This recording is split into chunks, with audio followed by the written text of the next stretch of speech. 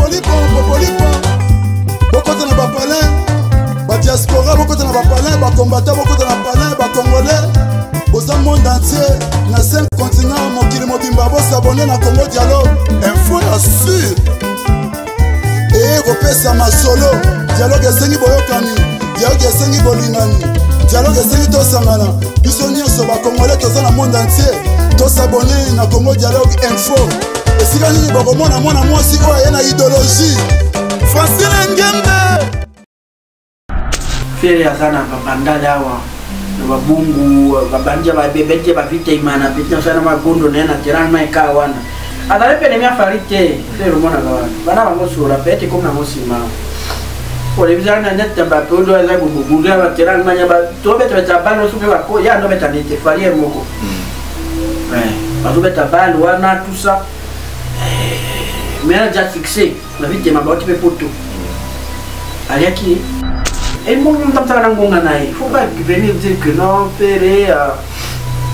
euh, non je ne sais pas on devrait plus compatir avec lui Vraiment. le fait qu'il a perdu non seulement son musicien de l'orchestre mais aussi son, son jeune frère basilo okoma bato ya lokola ozalaka bandeko na bango tomoni ndeko soki apele lobi na bandeko na nzela na ye kuna aza mpe na makambo na ye lekilekilekileki na yo kuze na yo nani sikoma compliqué c'est pas bon ah là c'est pour condamner ma propos ya grand frère na ye na émission parce que grand frère ya ferre orly lola dans une émission asalaki na baconfrère na biso que je salue aussi un ami david mombele na poto kuna ye nde moto afongoli vraiment boite à pandore mpo lelo bato nyonso balobaka efere si après cette émission parce que ye nde moto ye azalaki wana basundoli ye moto akipaki ye te masta kuta tuni ye bongo bino bozalaki wapi abi no ngai mambo passeport tout ça apesi baraison na ye donc ye nde mpenza ya abi kuta azolongwa nde na famille mpo amoni famille bato bakosila ndeko na bango akomolia bango donc ebandaki epa orligola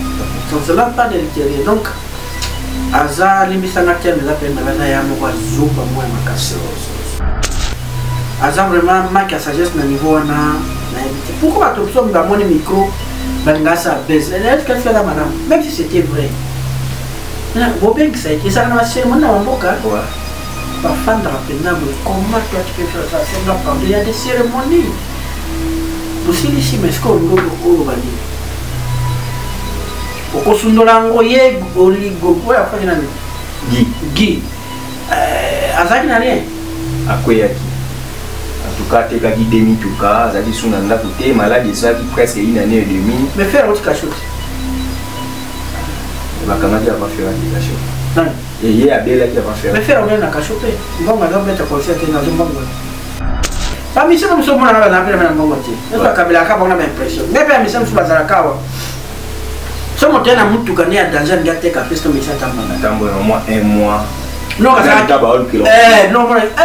jwana bacanja bakare eza ya ye te okomprane bobomaka mpe bango mosusu pamba atambola kani bamoni akepa abede mataka nano ateka yo yo pesaki ye na 120 000 akati ateke mpe abede kuna 670 000 abendi ya likoya mpe ale commission ebele awa nayebi ya kombo basalaka yango puissance ya liloba eleki ya lisasi mbote na bino nyonso bozwi libaku malamu ya kolanda masolo ya politike topesi bino merci bino bozolanda biso partout dans le monde merci na bino nyonso mpe bozolanda biso à travers congo dialogue euh, oyo bozolanda biso na nzela ya congo dialogue topesi bino merci euh, tika ete nkolo azala na bino lelo toza wana actualité eza kokoba actualité ezopusana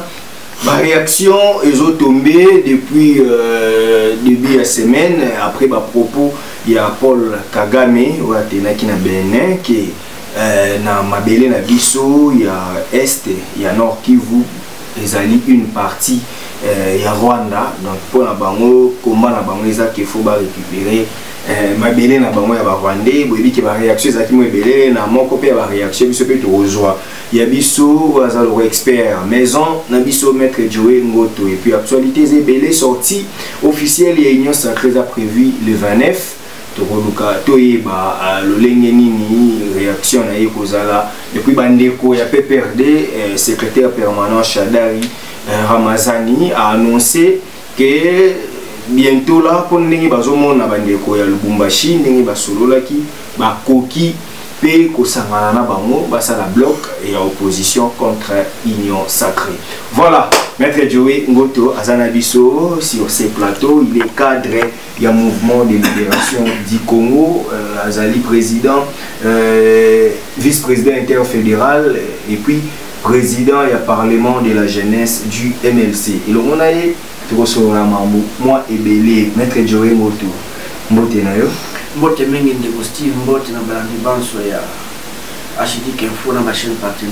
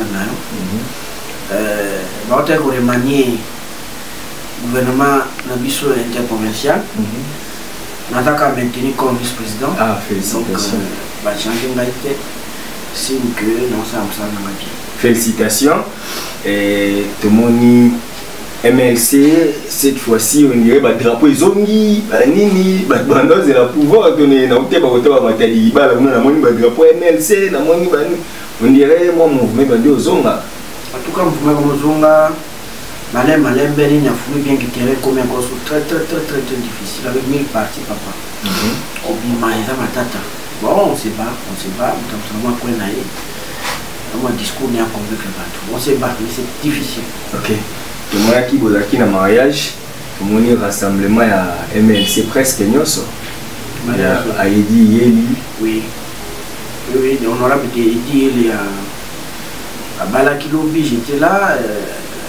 j'étais quand même content komona que namonaki euh, les deux vice premier ministre bazalaki wana jean pierre bemba na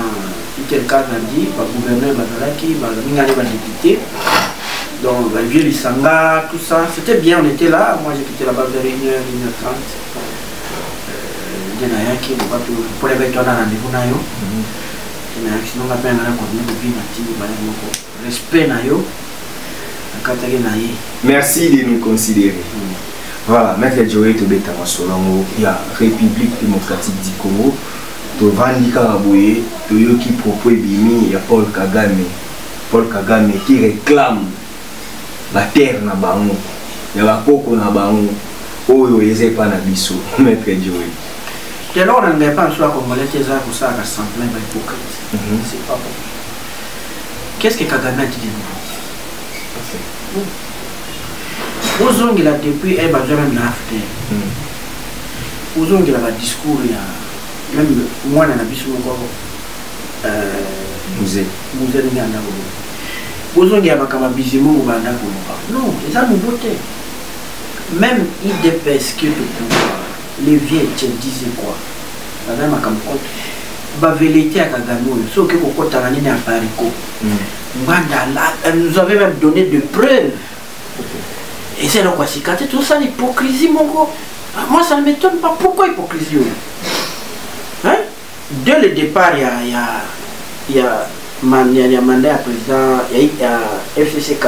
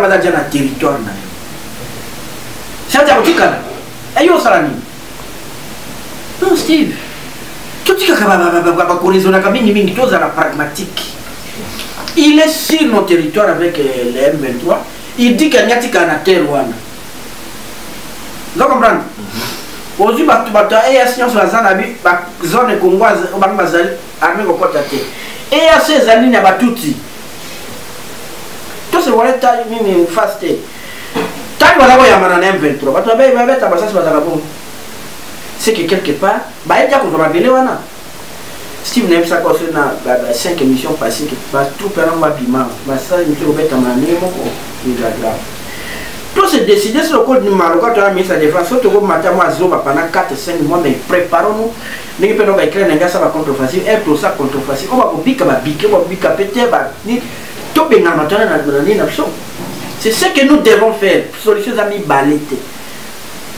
na mpo nga après discours ya président tshisekedi asalaki na oni dernièrement so vraiment communauté wana ezalaka te na communauté aza na bato mais makambo esesili qu'est ce que le président n'a pas dit qu'est ce qu'il n'a pas dit rapport ezali ya bozotanga yango te distribue aux gens bakabola yango te ayebi ti lelo ase balingi te Et puis, bah, je la sais, non, c'est votre problème réglé, les. Bah, moi, je suis sauté. Alors, on est temps à régler les bisous. Kagame a fait la déclaration de guerre, il faut par la guerre pour en chasser plus. Quoi, mais euh, olandaki leke ouverte ya thomas luaka losenjola asaleli ancien secrétaire général na bino hein.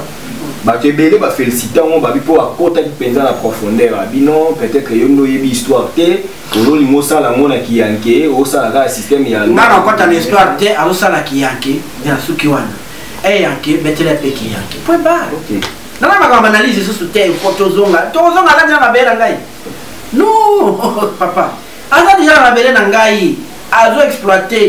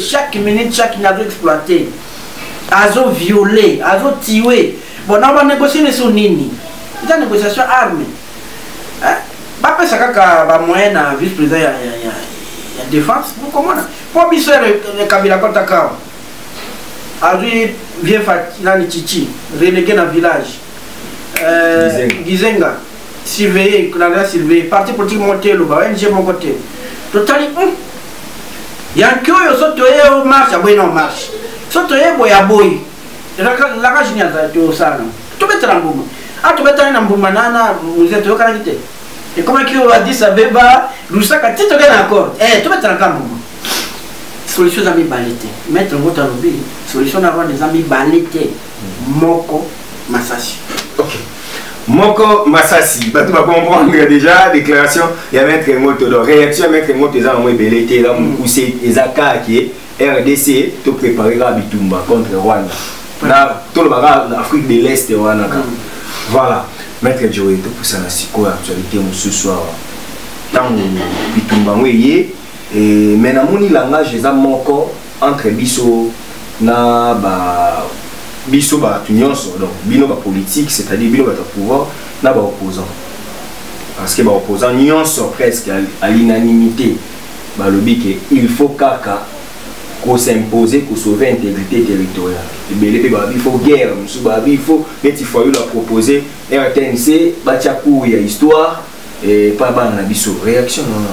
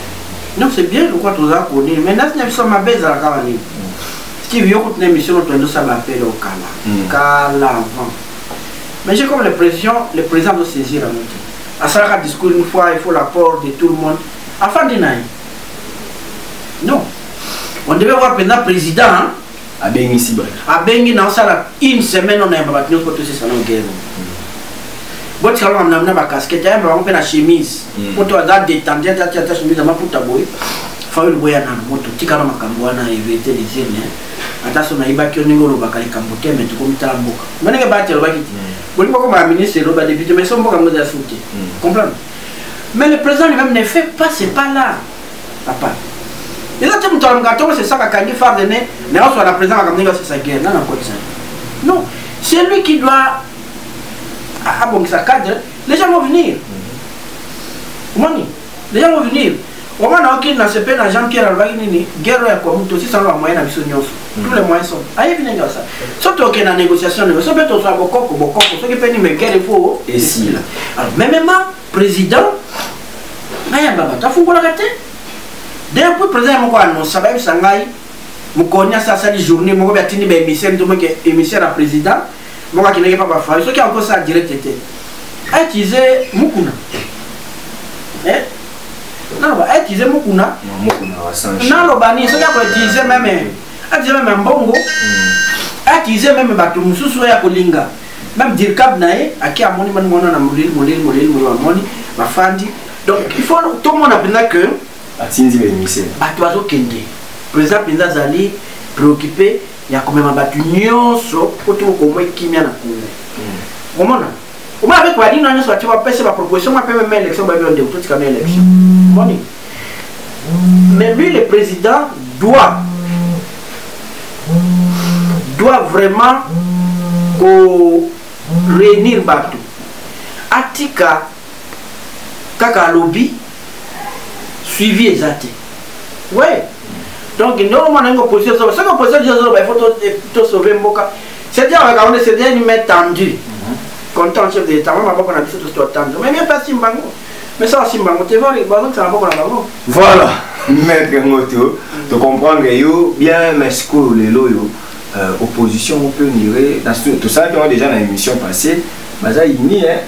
tomoni hormi mais sango ya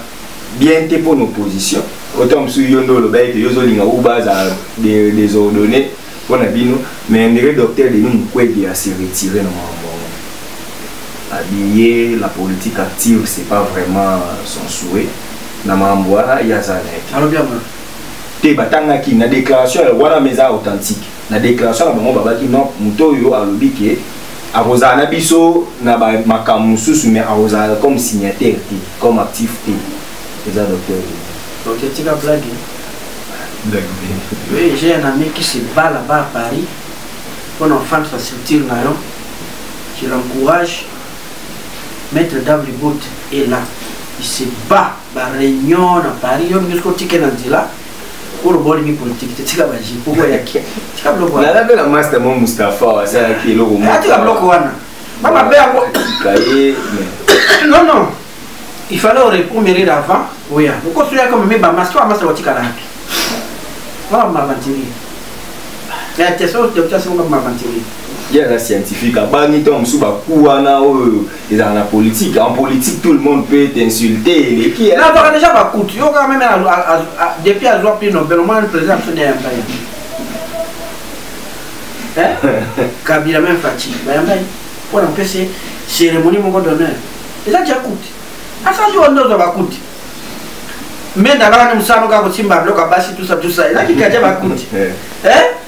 Eh, sikoyo nalingi so nini nani batika ye kutu akota meme na bitumba te babetaka edia makofi ofanola libanda nakotie baku o mikota kaka obunda kaka te c'est le conseil que moi je me donne docteur euh, bon peut-être na ntangi communique yango bien te peut-être abi pour le moment te mais le fait que aza na cité politique na ye bato batravaillaka j'espère vraiment que le moment venu Ako se prononcer. Ako kota pili. Il, il est remplacé par Kabila parce que PPRD par l'entremise de Shadari Emmanuel alobaki ke lokola bato ya lubumbashi bazongeli makambo bango bande koloba mambo baseni bacour constitutionnel mambo banini donc bamoni ke bazotambola ndenge moko c'est fort possible ke lobi bamarche ensemble contre bino ah, moi je voudrais eza démocratie te papa Maman à tout bazo le ba fayo la bête ma paix comment tu s'allier na Kabila tout ça mais toi tu as un discours wana. Biso tout ça ça ya na Kabila. Nga ka ndemel sina salia ne non te. Mais batanga na bino pe ba bibo zala vice président na ye. Vice président na ye te ya l'état tout c'est accord. Eh. Tous na accord. biso nyonso ya gestion nde ms totalaka na kabila mais toye eloko tosali ms asini mpe perde asini comme balino tosala te comprendre po tobelaka te basala na rwandais na bango soki ya nyonso mpo na kongo mais biso na bango tosinya te mais idps bazalaki na accord na ye fcc cash pourquoi loso mpe foyer olobi ke kabila vie en trage na se bakoma kofinga kabila vraimen kosalie na kabila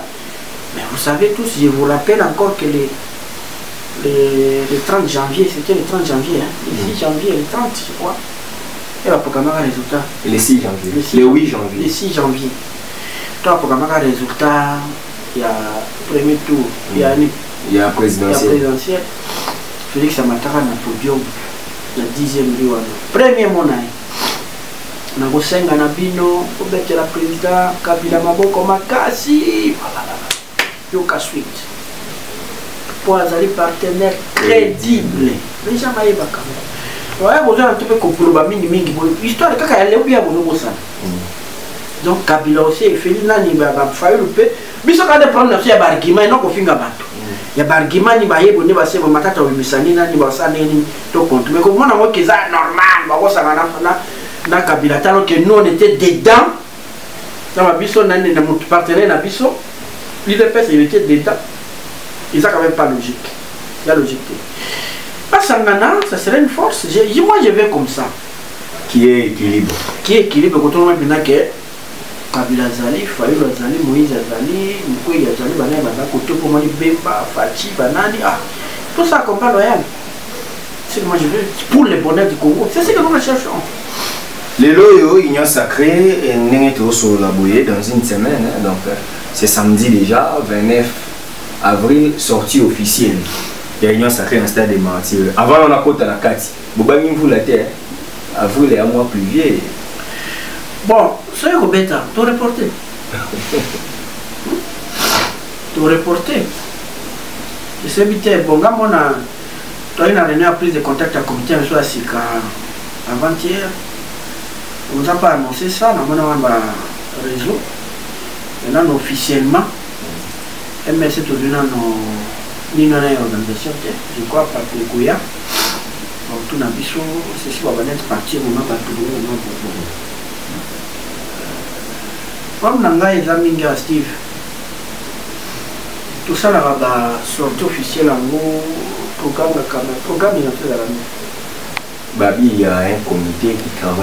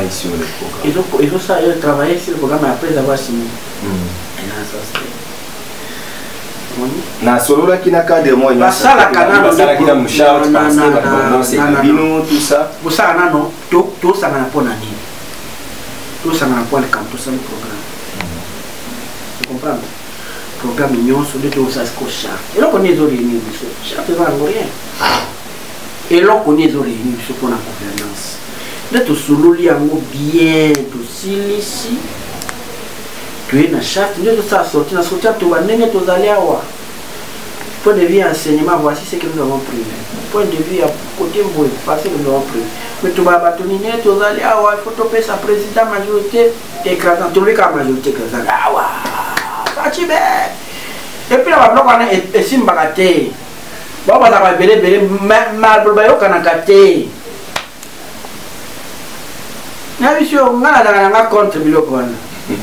mpo na ngai nde tosalaki déjà ekoka baproblème surtout banda kodivulgue yango c'est tout pour moi on va sortir dès l'argent là-bas on va donner bakifwa na babis tokanga batransco badire baoya boya bazonga bayembeli biso chaque parti avec sa force na ye et puis après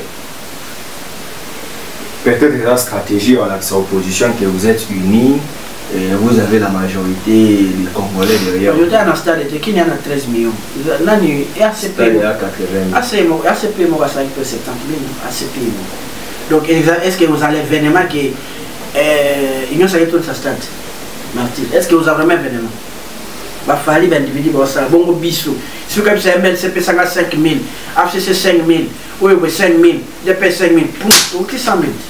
est ce que vraiment un événement est ce que c'est vraiment pour prouver qui pourquoi tozala kaka baméthode ya bato ya kala tolingi tokendaka nango kaka pour prouver qui donc moi je suis pas chaud hein en tout cas c'est mon, mon opinion je suis pas chaud et mpo na ngai ezoloba mpe eloko te okay. voilà. maître joe ngoto on avance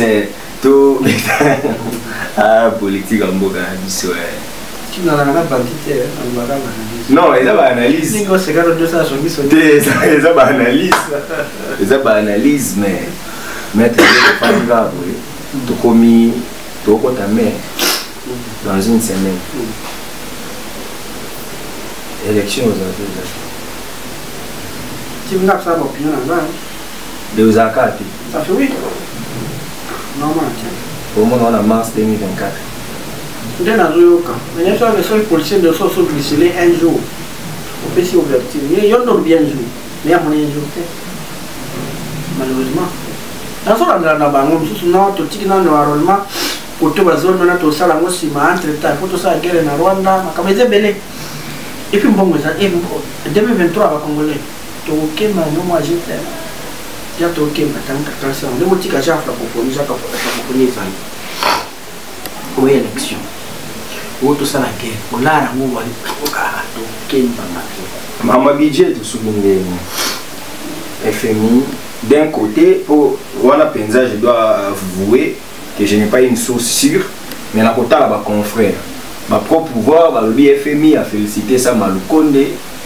na makambo ndenge ezokende côté gestion ya mbongo ya budget tout ça de l'autre côté babi te budget ezalaki 16 milliards te eza 3 milliards en tout cas nga moko nalandi déclaration ya fmi te nalandi kaka bamédia oyo baza baaccrédité na primature bapesi baavantage ya primature bao baza libanda bao baproche opposition balobi ke budget eza ya 3 milliards donc nalingi kaka na comprendre ke ya un problème dans le budget donc les 16 milliards wana on dirait yango te pourquoi nous avons ngai na wena nga okende fm fm alobaki ba journaliste boy moi c'est le fait mhm. le constat que j'ai fait j'ai fait un constat que les trois premiers mois bafuti bato na cadre mhm. bato mosusu bafutami na hotel na sénat j'étais cette semaine par deux fois bana deux mois ya paiement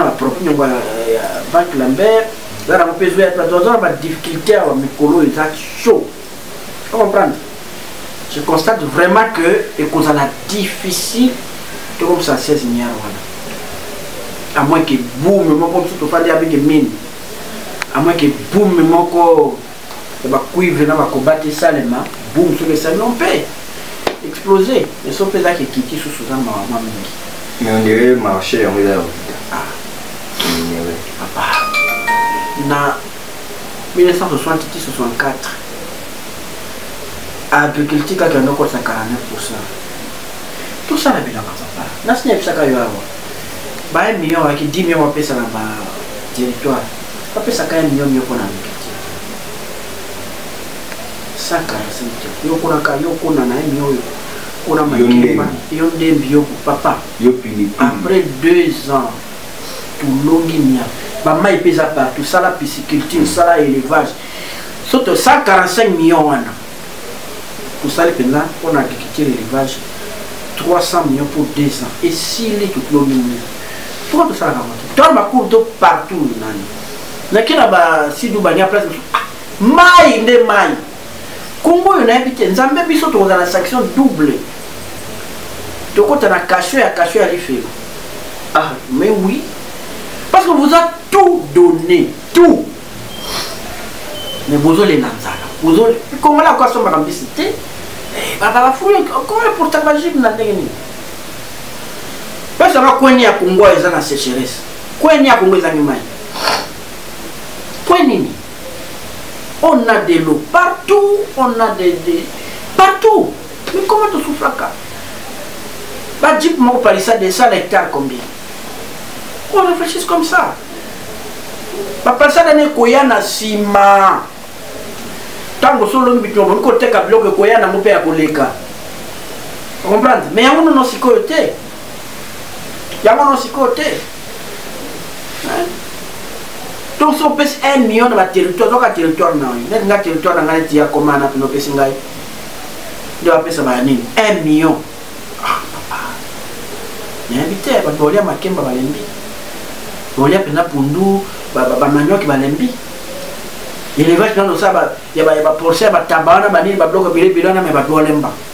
rien que na mpo nayebi secteur ya ngai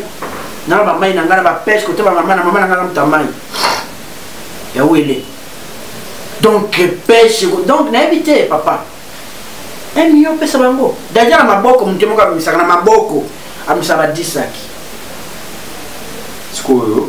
opesi ye mash tracteur atongi banga ezaka ke bon eh, tozwi ya kosomba ya biloko wana toyelo mpe baradio na yo baluka mpe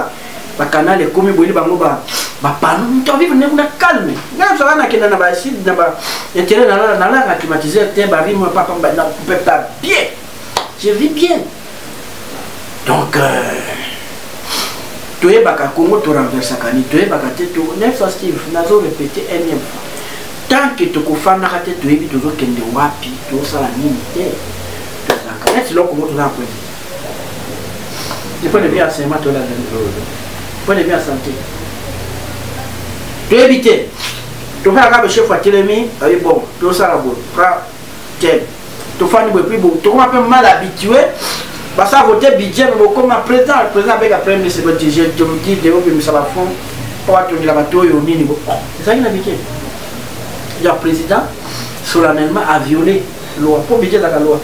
et nous applaudissons président batonga alingi mboka non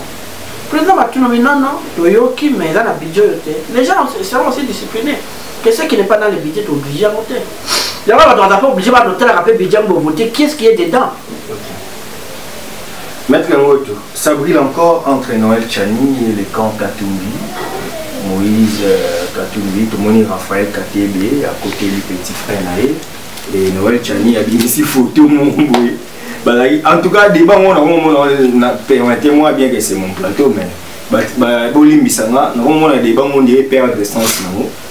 eza esumu ya mokongolite te ekomi conflit entre chani e katumbi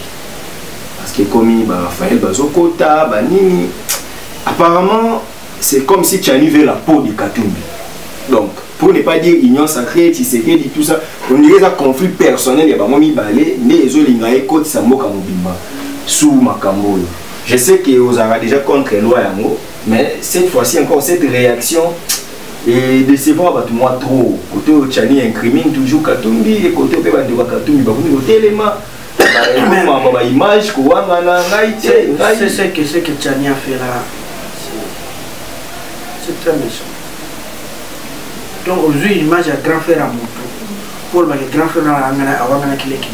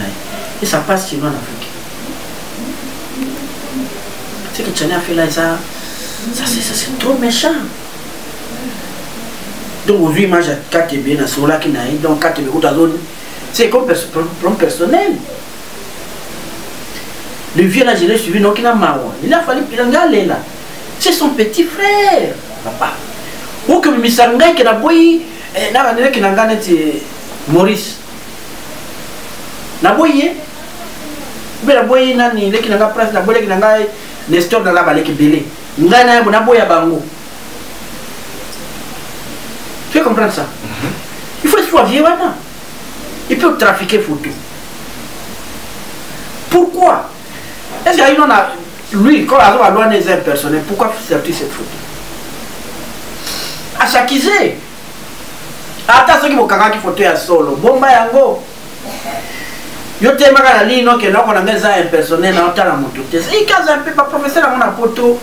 bato mosusu baza baprofesseur yango bango moto mpe ezalaka te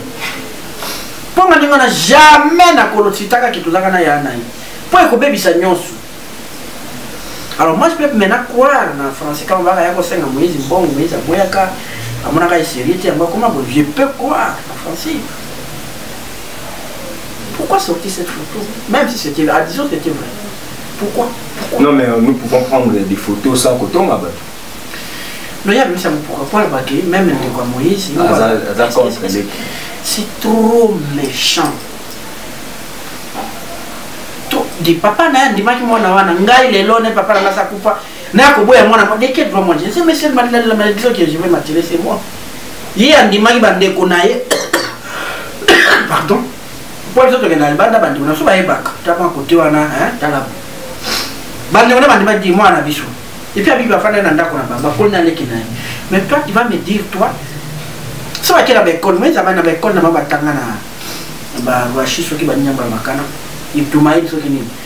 komona eza yango na baenseigne na ye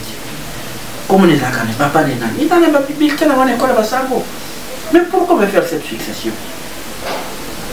wana mpena nani cani elakisi papa tosale ngai ndo makambo hypocrisie cette loi là ezo vise ye nani moise mboso alobi ngai naza contre motu te naza pour motu te abanda yango koatake ntingi abi yo mpe lwa na wana babi soki ezo enerve la constitution zonga nango bongisa mawa mosusu oya okoya kofinga biso apambake tobangi pression oyo biso tolinga tosala mambo selo mibeko ayebisi mpe bato oyo mpe ya opposition bino mpe ngai naza contre motu te na pour motu te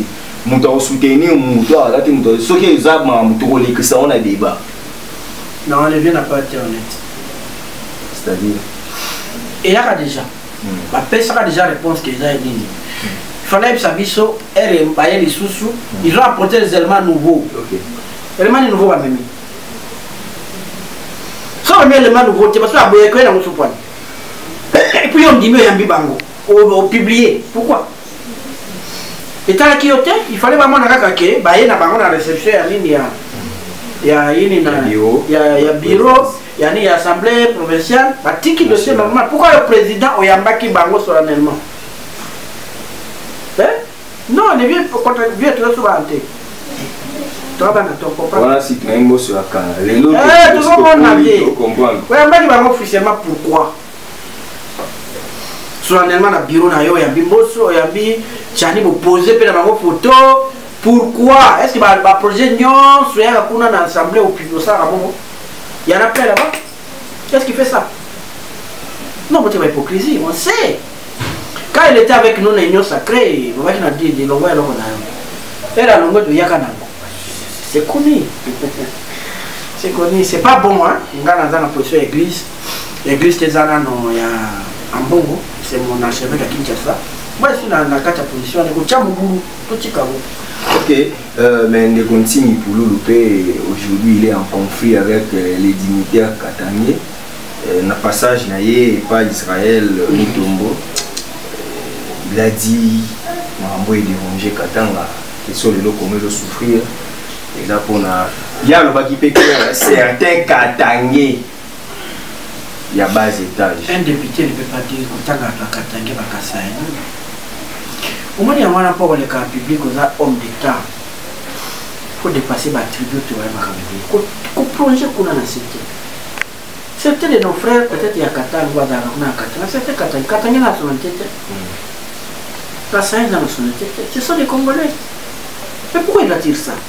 Moi, je l'ai suivi, ça, c'est... Ah. nini mpe ya sanction eza te malheureusement epa ya biso atozwaka toyenga koyebana makambo ya bien te steve omoni bapoliticien ebele bawaleka na congo bazotika na mémoire te mpona bazozoba so ozela bacongolais batika na mémoire ya bato baza ebele te ntanga balumumba wana lumumba atikala te pale kutu bakabela ye mais komona etangamaka génération na génération bavie bolikamba tika bango te mais baide mino lelo balinga basa populisme na babuzoba donc vite kutu bato mosusu ezala olekana nzana babombanaka nde nini amatala motuka amoni mpo bakuba mbe ata nzete mpo na babuzoba poko peme te esala bademantwakata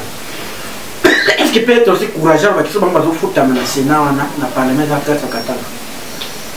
barepondaki mpe lomo mais oui c'est 80 pourcent biloko tozolia na congo nini tozo vers vivre fonctionnement ezouta kuna epa na bango areconnaitre yango mpe non moi j'ai pas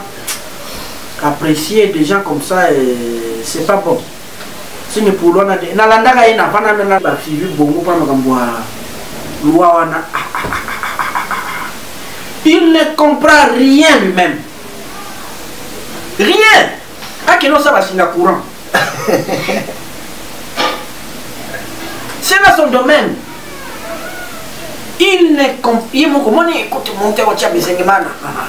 nde akosala makambo papa bisengimana azalaka wana nogerol presque premier ministre po premier ministre azalaka te c'est ce que les gens oublient mobutu était lui-même le chef de gouvernement mpe président en même temps misali il prouvait lui-même nini mais lelo ekomi difficile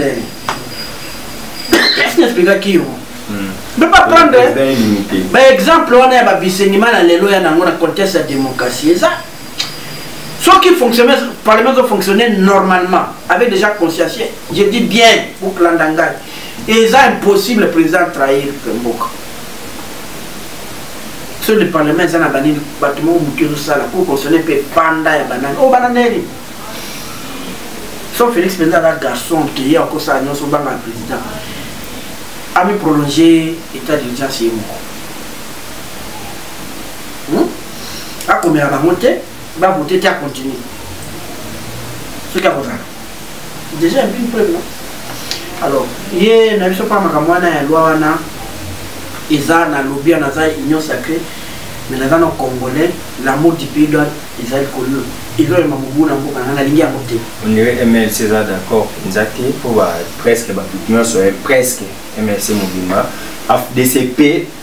namoni presque bango nyonso baza d'accord te na makambo yango kongoli te seleko eza na motu na makolo te papa eza na motu na makolo te amwake ndenge nani ndeko na bino collègue ancien confrère na bino nani mokeba alobaki ezolinga bapesa ouverture na modification ya constitution mpo basala makambo ebele parce que kozala oblige babi qui est congolais c'est hmm. celui qui est né de père et de mère congolais ou d'un de, d'un de parents est congolais congolais abotami bongo dans l'un de parents congolais il peut être président bolingo bakisa nini nini lisusu ok maître joy eh, bakangi mpe francis kalombo soni soni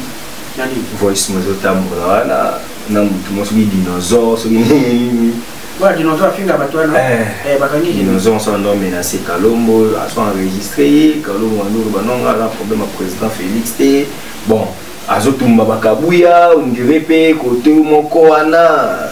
atumbi moïse mokie donc na congo bapoliticien baoso na sécurité te donc c'est à dire méfiance ekoma na bapele nyonso ekoma na bango parce que aujourd'hui je vois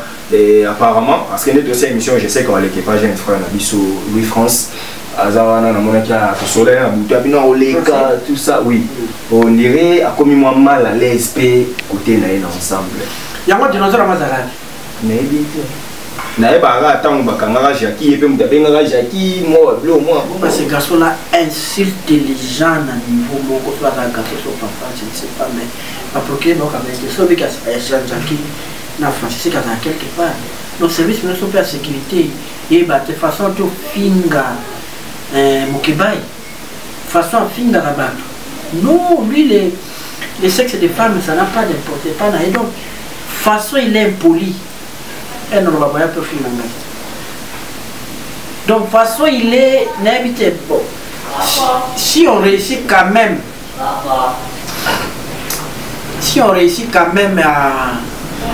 ya kosolola na ye cela veut dire que amonanaka mpo bakoka bakointerpele ata ye te yo oza na yo yo ozodefendre na yo régime en insultant les nete solandaka ye non afinga pius rombe lokola eloko nini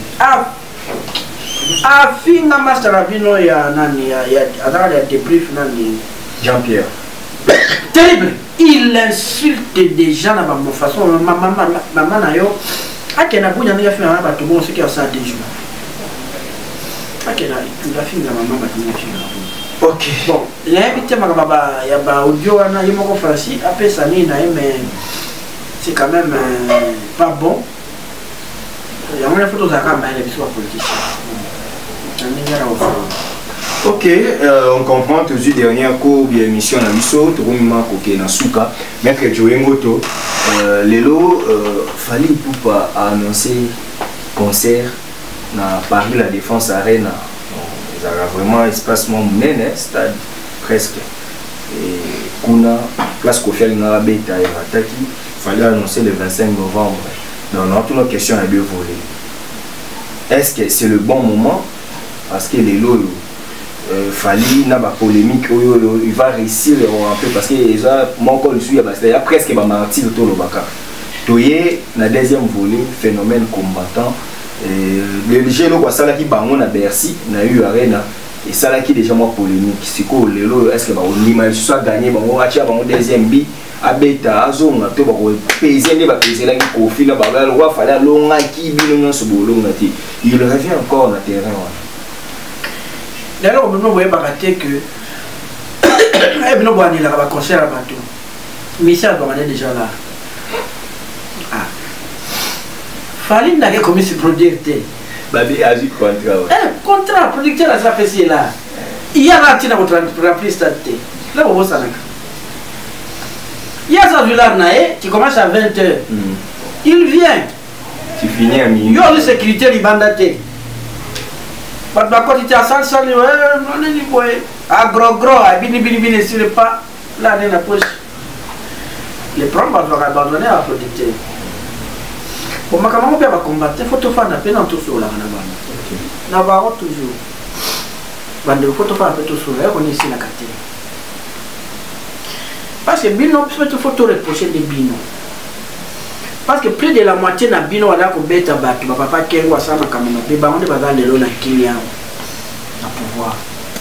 pourquoi ne change pas les choses babi eza occupation eza trahison na répété trois quart na bato na bango bazala kobeta bato kuna nde baza lelo awa na décision comprendre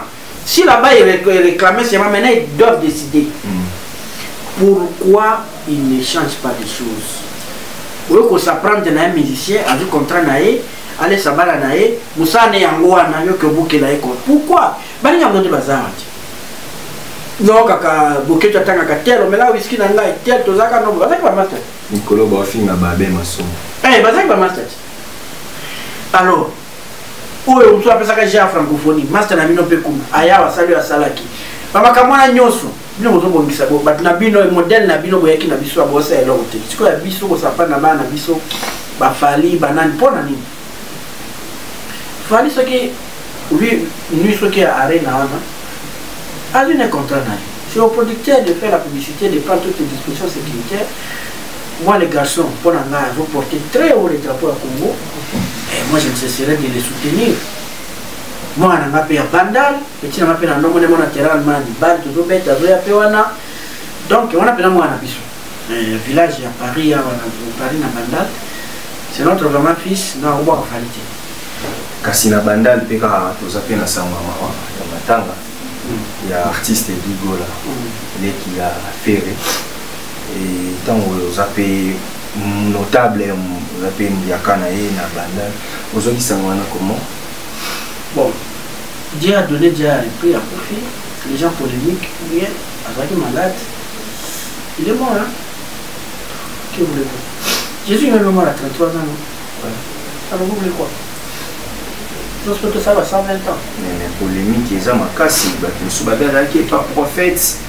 efaki prophète abikisa ye prophète eza hôpital ah. pasteur mukuna mpe asali mpe alobi aexplike mwa eloko mosusu abi bokofinga na biso bino pamba biso nde tobikisaka bato te ntango osali mpe motu bobi bapriere bango mpe bandeko ne baye babotoli yo motu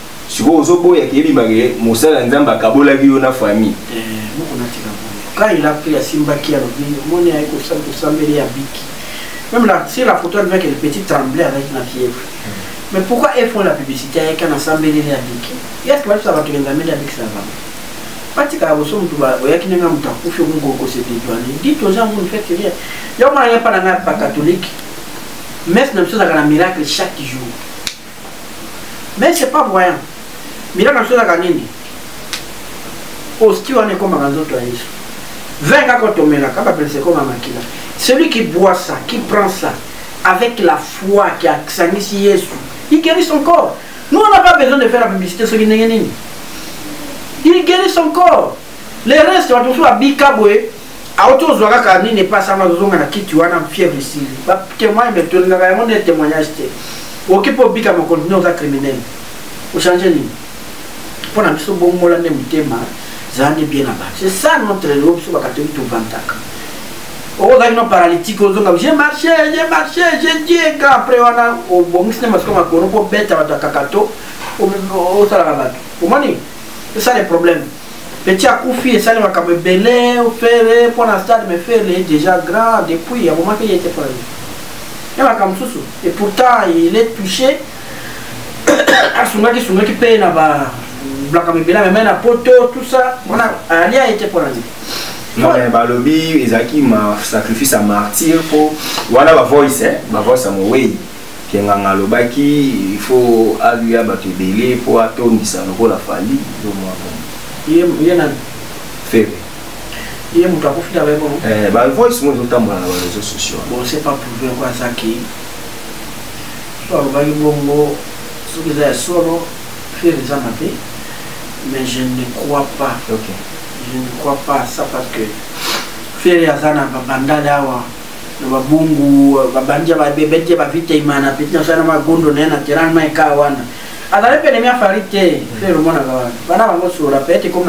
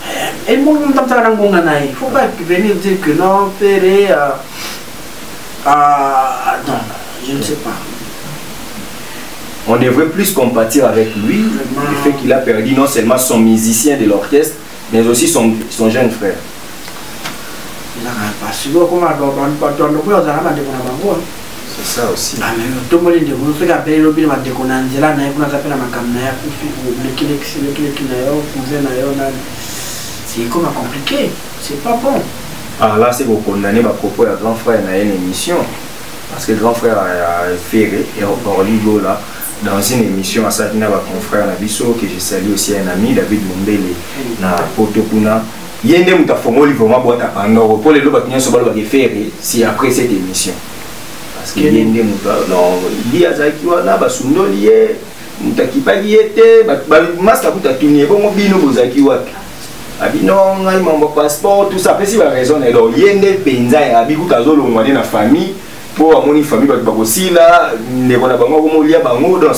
ebandaki epa orligola nde bandeko mosusu mpe omoni baversion bandi kobimabima ebele Bon, l'histoire de cette famille-là, nous, on sait qu'on n'est rien. On ne sait pas, mais euh, comme Yaya. Oh, le G, oh, il fait à l'année. Tu sais que tu es devant des millions de gens. Le linge, ça, c'est dans la famille. Hein. Donc, c'est là pas de l'intérieur. Donc, aza limbisanga te meza mpe mela aza ya moko azuba moko ya makasi aza vraiment manque ya sagesse na niveau wana nayebi te pourkoi bato biso bamoni micro balinga asa bese eske aza malamu même si c'était vrai bobengisa ete ezalaka na baseremoni na bamboka bafandaka mpenza boye comment toi tu peux faire ça senga pardon ya de cérémonie bosilisi mais sikoyo olingi oloba nini okosundola yango ye oligo oyo afaki nani gi gi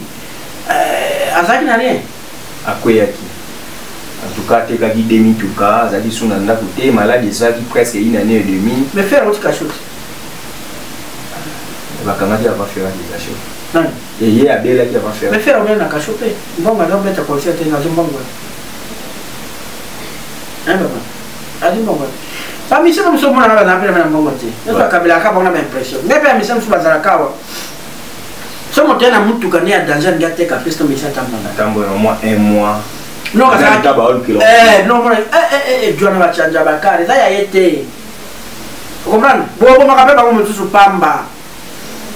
atango na kani bamoni akepa abede mwa taka nano ateka yo oyo opesaki ye na 120 000 aki ateke mpa abede kuna 570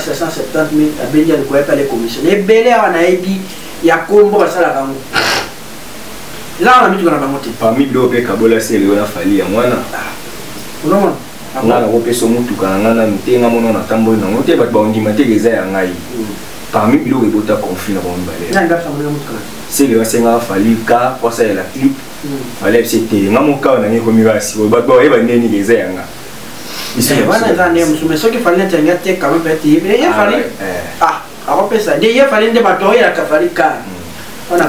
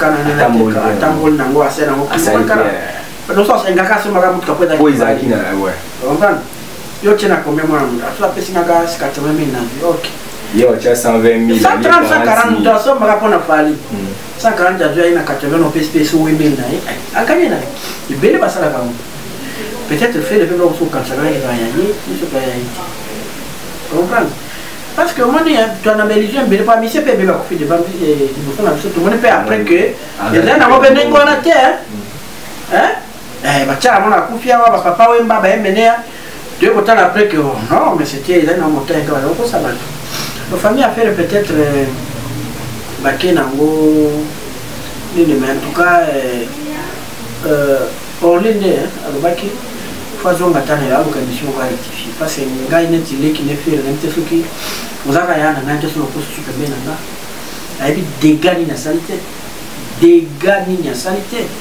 wana mpenza bombe moko ya beti na ndako na nte soki bato survivant combien c'est pas gentil ok tokomi na suka ah, programme ya matanga yango ya gigola c'est aussi une actualité lundi oyo veye mortuaire na cabine na saint air mardi na cinquantenaire bakoexpose yango na musée national et puis après bakei necropole donc nopresentanale wana fera ya te te akozala apparemment c'est lui qui organise toujours même na kabinda wana ondire po kutu bandeko na bareseau sociaux babi oh no oli kobima no na famille te tiano cotisation yo ozobima ndenge nini otikeli kaka fera asala mambo ye moko babilo mwa bon c'est apparemment c'est ferre pour ne pas dire apparemment mais visiblement parce que j'étais na bon vent mikololo sikoyo ye nani eza volonté ya nzambe 40 ans déjà c'est akufi na maladi te maladi nde bangamonana te na voice na ye moko abaki maladi yango ezomonana te nakoti bangalie ma sainter nazongi boye qui lui a dit que emana ezamonana te badocteur docteur adocteur ye moko voice na ye bongo biso tozoyeba ngai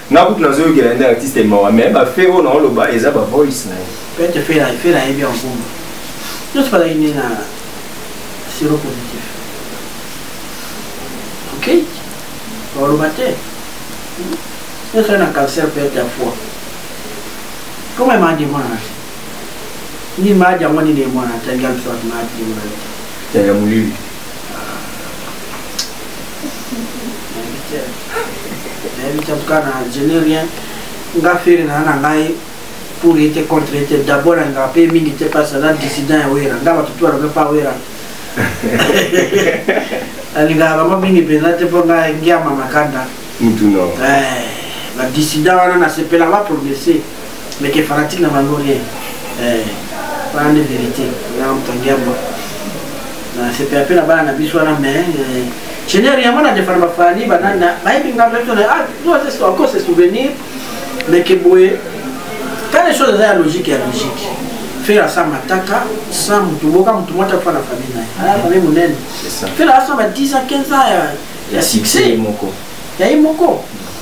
mais maintenant bakufaki te kaka sikoyo stade ekobakisa fere nini stade ekobakisa fere aechoue na stade esimba ekobakisele rien fere déjà sifile jiba ata bastade mosusu ya likita hmm. kita te to eza nango na sens te koloba ke o mpo na stade wana boye stade ekompimaka nango motu te esaka eloko te esaka eloko te esaka eloko te bato mosusu abanda asala na mabe aye kobeta ya nsima nini esaka yango eloko te ça va merci maître dio tokomi na suka émission na biso en tout cas merci mingi na sepela na émission na yo po tokendaka mpenza bien on sent que banini ya bien merci sikoyo euh, napesi kaka bacongolais nyonso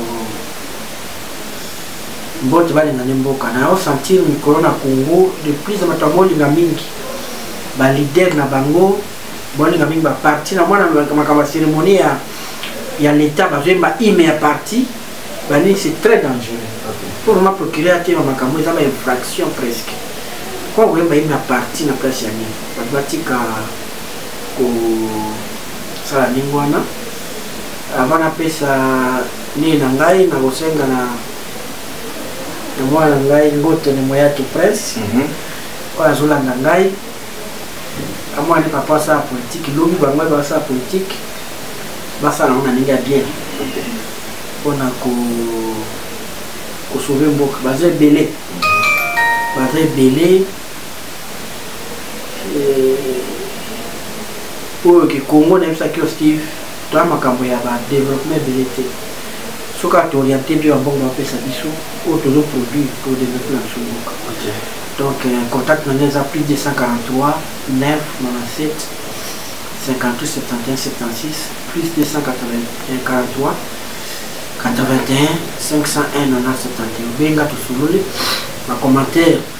noyambana na ngai tosolana na biso bien merci merci voilà prince ngoto ozwi déjà message c'est un héritage pour toi quand tu feras la politique faut olanda lokola papa kolanda te kote oji peye okei kote oke kote okende kozwa mbeba okoyeba te il faut rester constant na lutte na yo voilà Merci, euh, comme ça, à son professeur aussi qui nous assiste à cette émission que nous saluons chaleureusement. Merci à Nabandero Nyonso Bolandi Biso euh, na pesi mbote na bino nyonso bozo continuer ko soutenir émission na biso émission na bino papa Alois euh, papa Alois Mtedika na pesi merci depuis Italie euh, Alois Nolan Merci na Gauthier Bele, le roi d'Angleterre, Odette Lessa euh, depuis Switzerland. Na pesi bino son beauté, bino so bozo continuer ko soutenir euh, biso. Merci à Kwaku Vantoto pour la prise de vie. Et puis euh, na bande ko nyonso na Starly Lima pona euh, montage. Merci na bino nyonso o bozo continuer ko soutenir biso là. J'ai dit seulement un grand merci na bana ya Kassai Oriental avec euh, cette confiance au bozo pesa na excellence ya Julie Kalenga vice gouverneur ya Kasaï oriental mpo misala ezomonana le genre vraiment est représenté parce que la femme elle est tellement brave l'excellence fait en sorte que babilo mosusu bamike mike oyo oyo wana ebandaki komarche mpenza te emeka kozwa baalure mosusu espérant que dans les jours à venir avec ces management makambo ya kotambola malamu avec excellence julie kalenga tala aza nanu vice gouverneur me misala ezomonana tellement bien merci à vous tous oyo bolandi biso euh, topesi bino matondo euh, merci aussi je sali euh, particulièrement excellence akasia bandubola moni fondation Eh, ezokende bien mpenza babiloko namoni bapano na lukunga et je vous souhaite bonne chance le moment venu bana lukunga bakovote yo e ekozala malamu mingi ngai na bino tokutani mbala ya nsima ndeka tolobaka peuple congolais mibundela mpo soko omibundeli te moto abundela yo aza te donc puissance ya liloba